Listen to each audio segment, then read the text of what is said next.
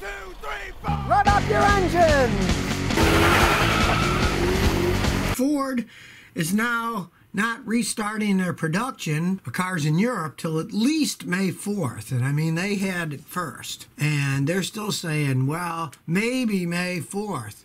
And we're behind them, so it doesn't look like they're going to be opening things up at the end of April here either. If things go the same as they are in Europe, their plants in Germany, Spain, the UK, and Romania. They hopefully they can start them up again May 4th, but they don't even know that, of course. And to follow up on that, Ford just announced that they're delaying the North American production restart indefinitely. They have no idea when they're going to start up again. We're behind them, and if they're not going to start up in Europe, over here it's going to be even later. So it'll probably be a while till they start making cars again. Previously, Ford said they were going to open its Mexican plant on April 6th and some select U.S. plants, but now they're throwing it all out and saying that they don't know. It's all indefinite until things go on. You know, you can't plan ahead with this. You got to play it by ear and see what's happening. Well, everybody's talking about how the internal combustion engine's dead, electric cars are going to take over. Well, Mazda's going the opposite way. They're doing a bunch of research into biofuels. They think that algae-based biofuels are critical to make them carbon neutral. They've been making fuel out of algae for quite some time.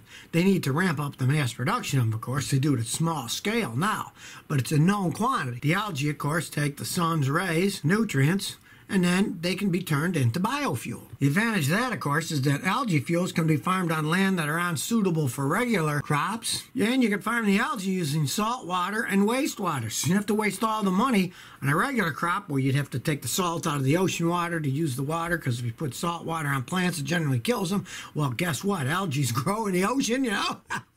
so they can use wastewater, they can use salt water, biodegradable. So if they get spilled, it's not that big of a deal. The main problems they have, of course, is they have to be able to improve the productivity and reduce the cost because it's not cheap as it stands so far. As Mazda came out with their theory, and their theory is that cars are going to use internal combustion engines in combination with electric motors in 95% of its cars, even in the year 2030. I think Mazda's being more logical on this one and so many other people all jumping on this electric car bandwagon. A better idea.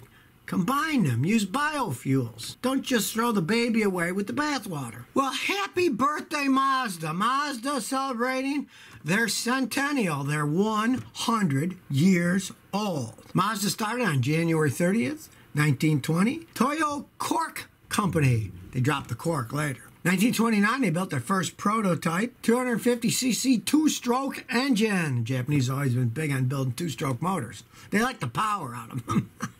Then in 1930, they had six prototype motorcycles. 1931 was their first three-wheel truck. And how's Mazda celebrating their 100th year in business? Well, they're making anniversary editions for a lot of their models. Of course, they're going to have the Mazda Miata, and they're having a bunch of other ones, too. You might check it out. Now, they haven't been making cars for 100 years, so that's kind of a cheat, if you ask me. It was a cork company to begin with, but it has been in business for 100 years. Give it to them there. Jabron says, Hey, Scotty, I'm stuck with my Mitsubishi making ticking sounds. I can't sell it because nobody wants it. I'm going to drive it till it burns gas and oil. The rods knock and start slipping. That's why I tell people not to buy Mitsubishis. They're okay when they're new, but when they age, the engines just start to wear out.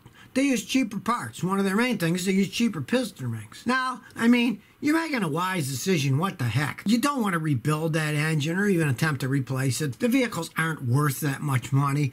That keep oil in the engine, keep water in the radiator, drive it until the rods knocking away and the clutch starts slipping. Whatever happens and it gets to be a big expense, yeah, then just take it to a junkyard or sell it for parts or whatever. You never want to go too far with a car when it's not that well made. Now, let's say it was a Toyota and it's got 300,000 miles and you finally wore the engine out. You could generally get a good used engine from one that was wrecked that had 80, 90, 100,000 miles and still had a lot of life. But with the Mitsubishis, ah, they're not worth doing it because everything starts breaking on them. And you're doing a smart thing. Just drive it till the wheels fall off and then get rid of it. Guy says, Scotty, I'm on a hunt for a new car here in Toronto. It's a 2000 Toyota RAV4 automatic trans with 120,000 miles of reliable car. Thanks. The price is $2,600 Canadian. Okay, hey, you said 120,000 miles. You guys go by kilometers there. But 120,000 miles isn't that much for it. Now, it is a 20 year old vehicle. They're pretty reliable vehicles. That kind of you should still have a lot of life in it. And I know things in Canada cost more. Uh, I grew up in Niagara Falls. 2600 Canadian isn't much for a car these days there. If a mechanic looks at it and says it's in good shape, go ahead and buy it. It could last quite some time. And that thing's only got 120, so it could be a very good vehicle. But you always want somebody to check it out. On a 20 year old car, you never know. I had a customer buy one that had 140,000 miles and they didn't get it checked out. And then they brought it to me and said, What's wrong? I said, Your engine needs The head gasket's blowing. They ran out of water sometime and blew the head gasket. They should have never bought the car in the first place. So do have it checked out. Sam Baza 2010 says, Scotty, for my Acura MDX 2011 Elite, should I use OEM parts to repair, needing to replace rear and front bushings? Basic wear and tear. Also, would you recommend taking it to an independent mechanic instead of a dealership? Thanks. Good aftermarket parts. There's nothing wrong with it. But you don't want junk. You don't want to go buy the cheapest Chinese made parts. Like a lot of guys will go on the internet and they'll say, oh, look, I got the best price for this. Then it's some Chinese thing that either doesn't fit right or it breaks within a year because it's poorly made. You want to get quality parts. You don't have to go and buy the OEM ones the dealer. Now, a lot of times, good companies that you deal with, like I deal with one called XL Parts, they can get me OEM parts, but it's not the OEM prices. They get a better deal, so I get a better deal buying it from them. So if you can find a place like that, great. Just don't buy the cheap Chinese one. Now, as for mechanics, of course, the most expensive places are always the dealerships. You're always going to pay the highest at a dealer. That's just how they are. It's overhead. Most of those dealers have millions of dollars a year overhead. How do they pay that overhead? By making money fixing your cars. They used to make a good money selling cars new, but not anymore because everybody knows what their profit margin, so everybody wants to cut them as hard as they can. They actually make the majority of their profit these days fixing cars. So they're going to stick it to you on repairs. You're better off finding an independent mechanic. You got a guy, maybe his overhead's only $150,000 a year. You're going to get a better price than a guy's got a $2 million overhead. That's only common sense. G092 says, Scotty, what do you think of this? Honda and GM team up on two electric vehicles. Honda design, GM platform. Well, you know, I think it's a mistake on Honda's behalf. GM is not known for high quality vehicles the last couple of decades. Honda, two, three decades ago, they were neck and neck with Toyota for the best cars in the world, and now that's dropped. I was reading a Consumer Report thing the other day, and they were saying that, hey, in the last 10 years, they see that the Honda quality has slipped a lot. Toyota's still up there, they say, but not the Hondas. I think it's a mistake, Honda teaming up with GM. That's, uh, you know, that's just me, but it's only for electric cars. And who knows how long that's going to take it's going to be really slowed down by this pandemic stuff because they're not going to have a ton of money to throw into vehicles that they don't even know people are going to buy them. And since it's also made the price of oil go down, when the price of oil goes down, gas is cheap. That's really a small incentive for people to go buy an electric car to save money if gas is cheap. So at least it's only about electric cars so far. I guess Honda doesn't want to put too much R&D into the electric chassis and all that so they can figure, oh, maybe GM can make all the skateboard chassis with the motor, the electric electric motor and the battery, and then they can do the body and other stuff. So who knows? I think it's a dumb move on Honda's behalf, though. Mo Man says, Scotty, what do you think of the Subaru WRX? Okay, they're fast, zippy little cars, but they are Subarus and they're boxer design, and they're notorious for blowing head gaskets. Now, if you really like a car like that and you buy it new and take care of it, you can have fun with it. But buying a used one, that's a real iffy thing because generally the people that buy them are younger guys. They drive like maniacs.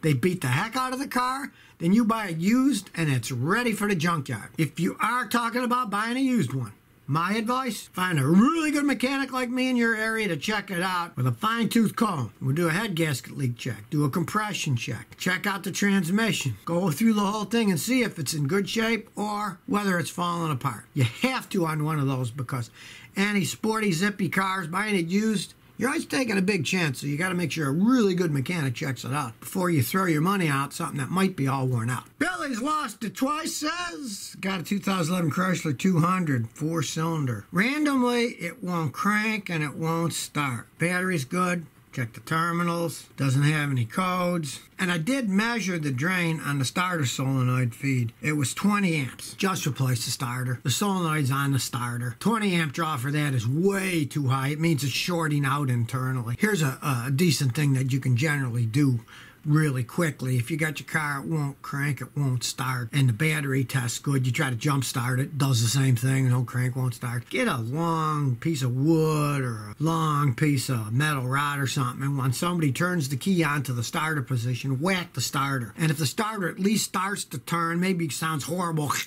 but it starts spinning the engine, you know the starter's shot and it's time to replace it. But with the drain to 20 amps, the starter's bad, just replace the starter. So if you never want to miss another one of my new car repair videos, remember to ring that bell.